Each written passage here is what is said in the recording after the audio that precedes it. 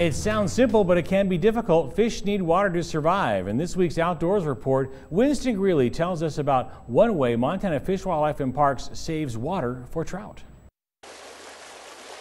More than 20 years ago, Hell's Canyon, a tributary to the Jefferson River, ran dry. Hell's Canyon Creek is one of the few really viable tributaries in this part of the Jefferson, and uh, tributaries make all of these main stem fisheries work. You know, without them, we, we wouldn't have the, the quality fisheries that we see in those big rivers.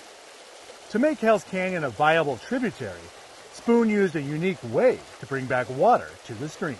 We'd put three water users onto a, a, gravity pipeline system to serve the irrigation, and at the same time, we'd, we'd leased the water that was saved by that project. And so it's created this really healthy situation that supplies rainbows for the Jefferson.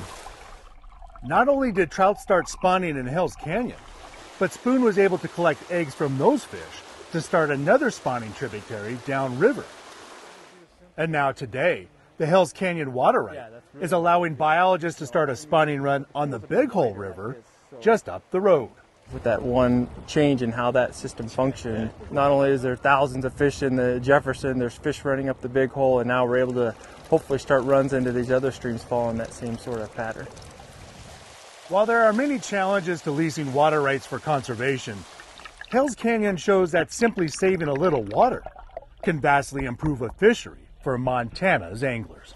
We have a chronically dewatered stream list, and there's 180 streams like this Hells Canyon that are on that list. This lease is just one of those 180 streams, so we need to do more of this. I'm Winston Greeley, out among Montana's fish, wildlife, and parks.